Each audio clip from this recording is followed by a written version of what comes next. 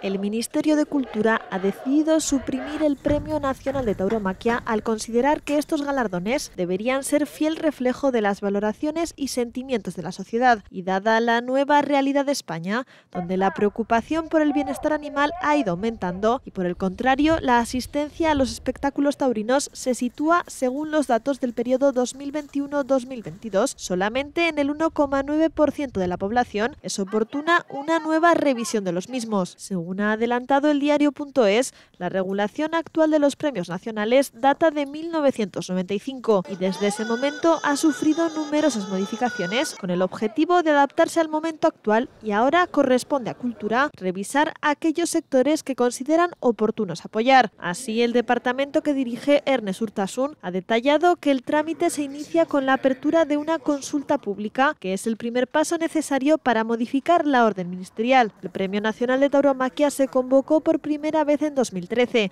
y está dotado con 30.000 euros. Esta supresión se suma a la decisión de Urtasun de no conceder ninguna medalla de oro al mérito de las Bellas Artes 2023 a nadie vinculado al sector de la tauromaquia, un recorrido que desde el Ministerio de Cultura aseguran que mantendrán en cada momento que haya que tomar una nueva decisión.